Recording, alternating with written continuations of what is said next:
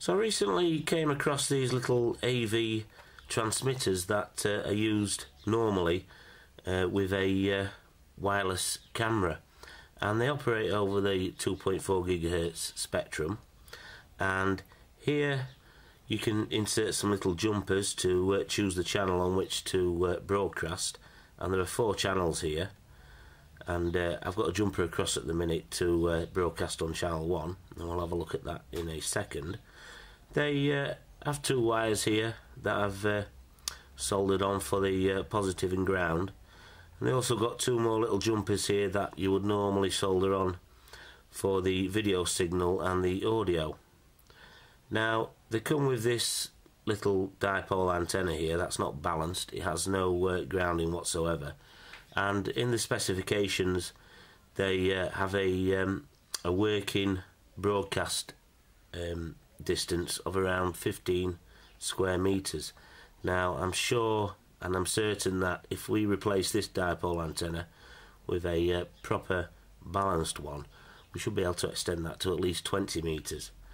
And uh, I was thinking that maybe we could actually use this as a jammer for the uh, 2.4 gigahertz Wi-Fi spectrum. And uh, what I'm going to do now I'm going to hook this up to some power on the breadboard and we'll have a look at the spectrum um, with a spectrum analyzer and uh, I'll show you why I think we can use this as a jammer. So what I've got here on the laptop is a 2.4 gigahertz spectrum analyzer and I've connected a little AV transmitter up to this breadboard so I can put power into it. Now these work on voltage uh, of a minimum of 3.3 volts right up to just over 5 volts so they will operate quite happily on say uh, a USB power so it makes them quite versatile to what we can do with them. Now I'm going to add just got a battery pack here. I'm going to add some power now. And you should see I've got it uh, jumpered to work on channel 1 and you should see that it takes up channels 1, 2 and 3 here on the spectrum analyzer.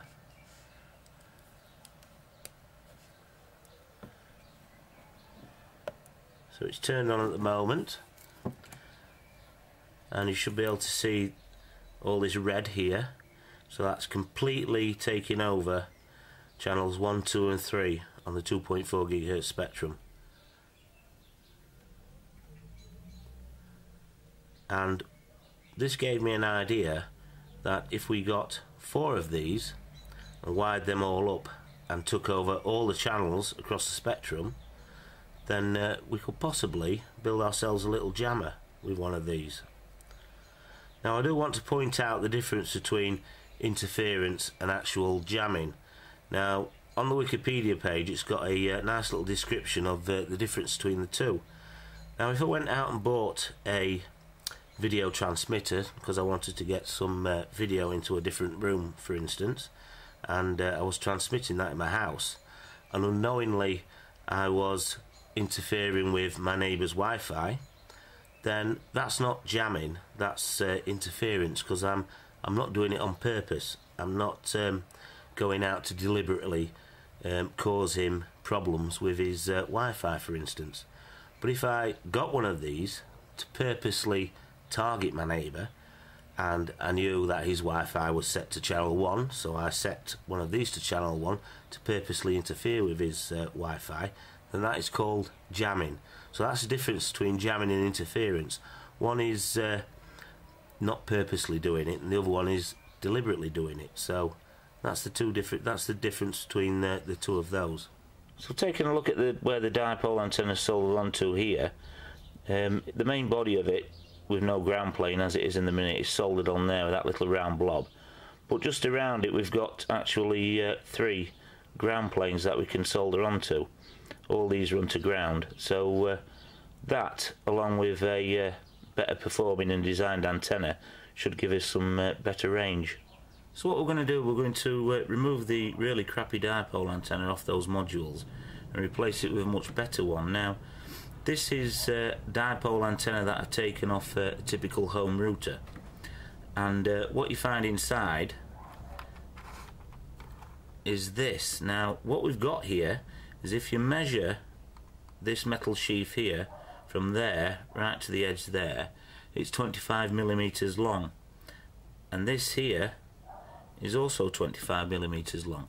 So that is really easy for us to copy and uh, we can make some dipole antennas for this project. Now this design, I also use this quite a lot. I've done some work with um, the Arduino and Zigbee and um, I've re always replaced the Zigbee antenna with uh, one of these and got much better range so they're actually quite easy to make and I'll show you how to make one. So some of the materials we're going to need to construct one of these uh, little dipole antennas we're going to need some kind of metal sheathing like this. Now I, uh, I've got a um, telescopic antenna here that I've taken to pieces and uh, we can use some of this to uh, create our outer sheath which is the actual ground plane part of the antenna and for this um, driven element part of the antenna we can use some uh, laptop cable. Um, I believe this is LMR 80 I'm not sure. Um, but uh, I've got a lot of this out of old laptops. Now normally when I talk about 2.4 gigahertz and uh, constructing antennas you need to use LMR cable. And the reason for this is is that uh, 2.4 gigahertz signals will leak out of your uh, cheap crappy coaxial cable that you use in your house for um, things like uh, your satellite dish or the aerial on top of your house. But uh, for this project we're wanting to create as much dirty noise as possible so it probably wouldn't be um, as bad to use uh, just some normal two core wire for this because uh, we want it to leak out as much as possible and create as much interference as we can but uh, normally when we're constructing antennas you always want to use LMR rated cable. So to make one of these antennas if you uh, cut your metal sheathing 25 millimeters long and just uh, get a little bit of uh, fine sandpaper or emery paper and just just on the end there just get rid of all that chrome part of it and clean it up really nice ready for soldering and cut yourself a length of cable a lot longer than what you're going to need and insert it inside the sheathing and then if you measure off the end this is going to be our driven element and we want our driven element to be 25 millimeters long but if you measure it so here at 30 you're leaving yourself plenty of room for error so you can always trim it back later but uh, you can't add to it.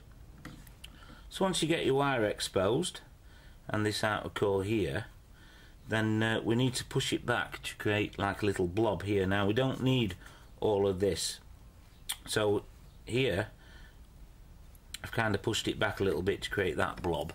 And we're going to get rid of some of that because we don't need it all. It'll just get in the way. So we've got about half of it left now and what we need to do is push it down to create a little blob at the end down here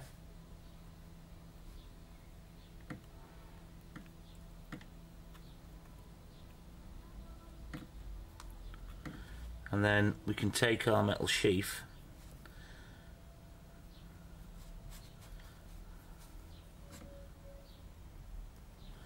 And what we need to do need to push all that down into the end of there and then we can add some solder to it. So what we're actually doing here now is just working our way around and uh, feeding solder into all that outer core.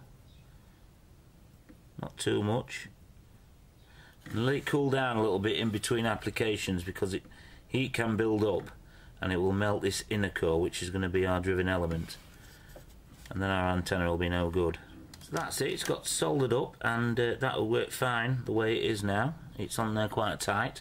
But uh, a little trick if you want to tidy that up a little bit is uh, use your soldering iron. Using the side here is just uh, gently run it around and you'll find it'll tidy your soldering up a little bit like so. Just be careful you don't keep it on too long again because heat will build up and melt that. And it'll also burn your fingers. So I'm now starting to think about how I'm going to uh, enclose all this. And originally when I came up with this idea I was going to use an off-the-shelf project box but I've since decided I'm going to hide it all inside of a cigarette packet. So obviously everything we build from now on has got to fit inside that cigarette packet. Now, what I've got here, I've got two pieces of the fiberglass board that I've got. You can use thin MDF or plywood, anything like that. And on the back side of this I'm going to mount the antennas and then flip it around I'm using one of these it's a 3.7 volt lithium battery and really good thing about this it's got its own built-in charging circuit. You can buy these off eBay lots of different places um, sell these. So we're going to use that to power our little modules and our modules what I'm going to do I'm going to put some little risers on this board and we're going to fix our modules that way up onto that board there. Then eventually we're going to fit a switch on here so we can turn it on and off and then uh, a little jack plug so uh, we can charge it up as well okay so here we have the uh, jammer and it's uh, nearly finished. All the wiring's done anyway. Um, all the uh, little AV modules here are all wired up.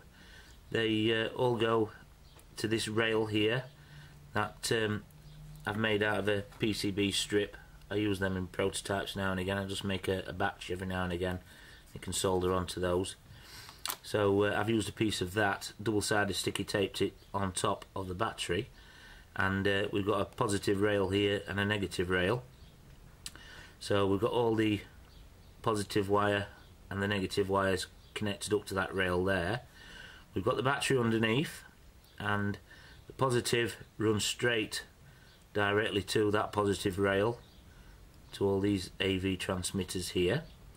The negative on the battery runs to this pin here on the switch and then we've got another wire connected to that side of the pin which then connects up to the negative rail. So when, when I throw the switch makes a contact and then we've got power flowing to the AV transmitters. I've also taken a USB connector off an old motherboard and I've just hot glued that in place and we're going to use that to charge the lithium battery underneath here um, now although I've already said this lithium battery has got its own charge protection circuit built in I've put a little uh, 470k resistor on here just to bring that uh, voltage down a little bit more. So the voltage actually coming in is around 4 volts. So uh, we should be safe there. So it's just a little bit of an extra safety thing there. And uh, we've got it uh, all connected up sandwiched together in between this board. And the antennas are on the back. So it's all come together as a nice little package. So uh, what we're going to do now is I've got another piece of board here. And I'm going to fit that on top to protect the wiring. But we'll be leaving the switch exposed so we can turn it on and also the charge the USB charge port here. And then once we get it all connected up it should fit nicely into uh, an empty packet of cigarettes. Also these these nuts here I'm going to take those off and I've got some little plastic risers and uh, then we'll put the nuts on that side to connect it all up and hold it all together.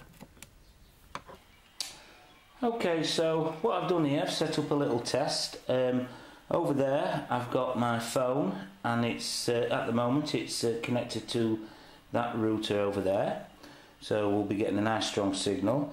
I've also finished off the uh, Wi-Fi jammer here and I've put another cover over the top there to protect those electronics.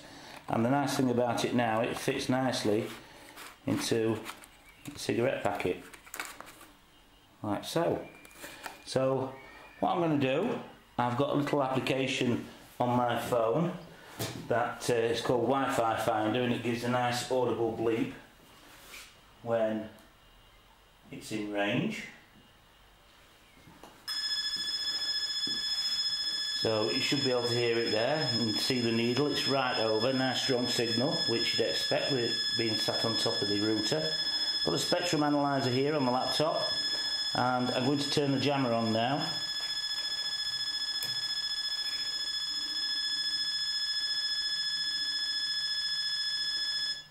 And it's killed the network over there. So we'll turn it off. and it comes back again do that one more time we'll turn it on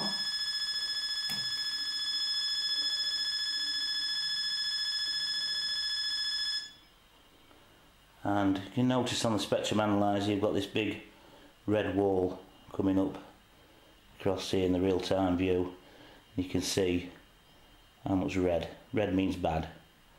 And also it's spiking all over here across the spectrum. And turn it off and it'll connect the phone will connect to the network again. There you go. So one of the reasons why these video senders cause so much of a problem and interference on the 2.4 GHz spectrum is because, as I've already mentioned, channel 1, for instance, takes up channels 1, 2, and 3 on the 2.4 GHz spectrum. And if I set uh, my little AV transmitter to channel 2, it then takes up 4, 5, and 6, and it just covers that entire part of the spectrum. And uh, it causes so much noise that uh, anything else within its uh, proximity just can't get through and communicate over that spectrum. So to explain what's actually going on when uh, we're using one of these AV transmitters as a signal jammer over, say we want to block Wi-Fi, is if you think about two people here, they're at a football match, and they're right next to each other, and they're having a normal conversation, but this side's team suddenly score a goal, so everybody around them suddenly jumps up and starts cheering. The noise of the crowd will drown out their conversation, even though they're stood next to each other. Now, what uh, these two people would normally do if they wanted to carry on the conversation is start raising their voice or shouting at each other to get their message across. But unfortunately, um, a wireless router is not intelligent enough to sense that there's a lot of noise on the spectrum that they're broadcasting on and uh, raise their uh, wattage, their signal, say, to uh, try and uh, cut through all that noise. So uh, that's how, essentially, this Wi-Fi jammer works. It creates that much noise over the spectrum that uh, any devices within range find it impossible to communicate with the router. So here we've got the jammer and it's charging off the laptop's USB and I've put a little red light on there to show when it's charging and we can use it at the same time while it's charging and there's that big red wall that I keep talking about up there so there's no uh, Wi-Fi signals getting through at all within a 20 metre radius of the jammer so I hope you go out and build one of these for yourself and if you do let me know in the comments and uh, if you enjoyed it please give it a big thumbs up and if you want to see more hacks like this and builds then please subscribe and uh, don't purposely go out to block anybody's Wi-Fi. It's just for educational purposes. And uh, take care, and uh, I'll catch you next time.